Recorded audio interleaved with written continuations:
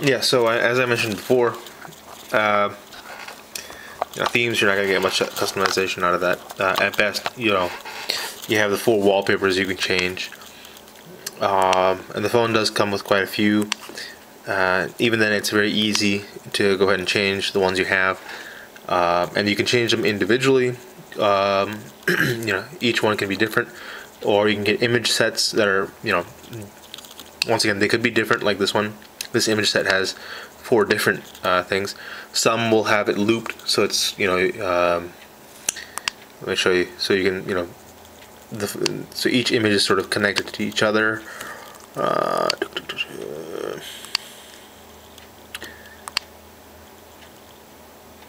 let's take the Chinese kite, for example. Uh, they'll be linked, you know, as one big giant image, sort of like what you know, you know, Google does. You pan across and you see the mountain the whole way through here. You know, you see a bunch of kites on a string, and they're all stuck together. And then you know, sometimes the, the this kite will be looped to this one, and it'll be one big old circle panoramic view. Um, that's the extent of customization you're going to get on this platform. Uh, so if you were expecting something like Symbian where you can change every little thing and uh, it's not going to happen. So uh, that's not to say you know there won't be cool wallpapers or cool you know you know theme colors. Um, sure, some of these awesome uh, uh, guys who are on Symbian will, will come out and do some good things with this uh, customization with this.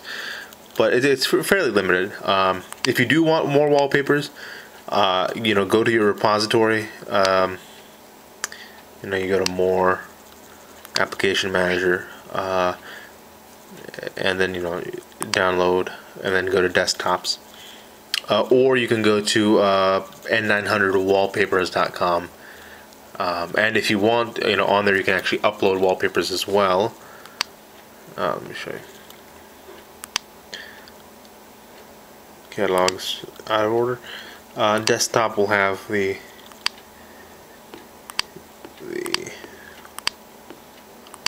I installed the one wallpaper that was on here, which was the Milky Way one.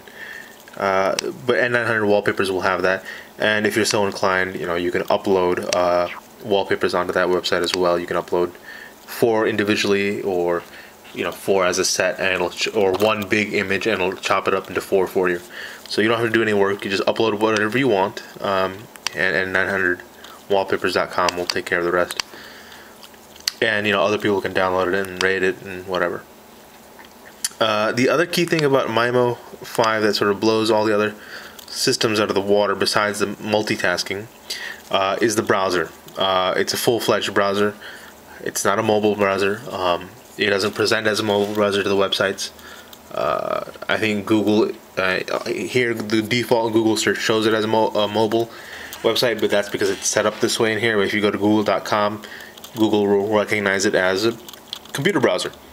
Um, and uh, you know this is I think what sets it apart from everything else. Um, you see everything as it is, and uh, you know you can you can play the full uh, Flash content. Let me open up another browser window while this one's loading. Oh, it's already done loading. Uh, you can see full Flash content. It has Flash 9.x, whatever's out there right now. 10.0 is coming soon. And even if 10.0 comes to other mobile browsers, still not the same. I don't, you know, you won't get the same interface as you do somewhere else. You know, I don't need an app for YouTube because I have full YouTube. I don't need an app for whatever because I have access to their entire website as it is. You know, Google Wave works on here, for God's sakes. It's crazy. Uh, so this is a full-fledged browser, Flash and all. Uh, Hulu will be slow, like I said. 10.0 is what they use for whatever reason. Uh, no one else seems to use that, so everything else is fine. Vimeo or whatever, they all load fine. Uh, you can load up a, um, a YouTube thing.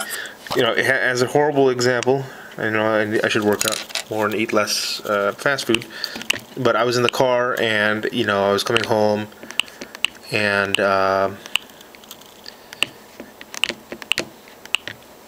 Uh, on the on the way home, I was hungry for pizza. Didn't have Domino's number on me, So I just went to their website. Uh, you know, I typed in my address, my home address. I ordered the pizza online from their website, just as it would on the computer, uh, directly. And you know, I came home and it was, you know, five minutes later, it was there. You know, I didn't, I didn't need their phone number. I didn't need an application. I didn't need anything. So, uh, you know, and uh, on their website, the full Flash content loaded up just fine. Had a little picture of the pizza and all that jazz. Um, yeah, that's a bad example though. Um, but yeah, you know, full Flash content. This is a song. I'm not endorsing the song. If I had my way, I'd play some Triumph or something like that. Go Canadian rock bands. Um, so yeah, uh, you know what? I don't have to sit here and wait for it to load. It'll load in the background. Oops, there you go. I can go do something else in the meantime and let it load. Uh, and, and, as you can see, it plays just fine in the uh, background, and it will keep on playing. So you can go to YouTube. You know, for example, if I don't have a song, I throw it up on YouTube, and I go do my work on something else, and it's playing in the background just fine, just like I do on the computer. You know, honestly, there's nothing else to show you. Um, the only thing is sometimes, you know, sometimes, okay, this time it worked. Sometimes links, I think it doesn't register to the press uh, for the browser. You know, that's a little annoying. turn the stupid music off. Uh, the browser is very quick too, by the way. Um, it loads everything fast. So you know, even if you you know, oh, oh uh, and try to stop something in between, you probably already loaded the page. For example, right now I try to stop it and it went on through. Uh, the cool thing they here they have is this visual history, and you know when Android first came out, I or Chrome came out, I was assuming I think it was Android or Chrome. I forget. I get confused now. Uh, I was assuming they would have something like this. Uh, you know, Nokia sort of always had that that that micro history in their in their browsers. Symbian's had that always. But I would have thought they would have put implemented something like this, and this is very cool and neat. Obviously, this now, uh, whether it's so useful in here, I don't know, because the thing is, this thing is so good at multitasking. I actually don't ever open anything in the same window. I go ahead and pop it almost always into a new window. Therefore, my history is only you know valid for one page, really, you know, one or two pages. Uh, and while this is a cool idea, it is kind of annoying if you're, for example, you know, you just want to go back right now. I just want to go back really quick.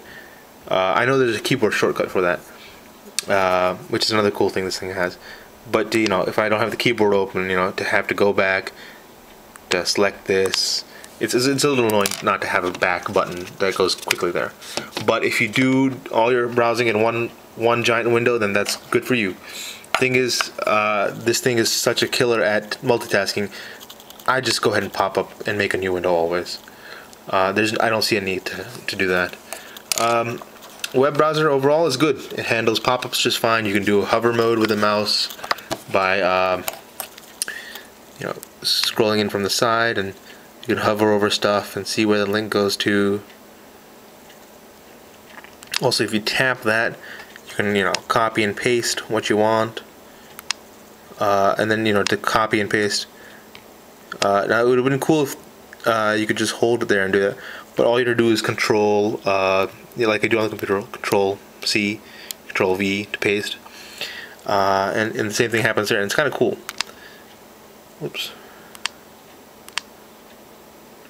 Uh, the only annoying thing is, and this probably has to do more with the keyboard than anything else, is for sometimes these little Java or uh, little Flash pop-ups that happen. You type in a number, and I'll use Domino's Page as an example since I did that just yesterday. Uh, the number keys don't work, and this happens on some Flash pages as well with Flash pop-ups. You know, you have to, you know, you can't do uh, the symbol key and the number. You have to actually hold this down, and this is where the sort of the cramped keyboard, the three row, kind of gets annoying. Is you're trying to hold down this and try to hit one at the same time, and you know that just doesn't work, especially if you have man hands.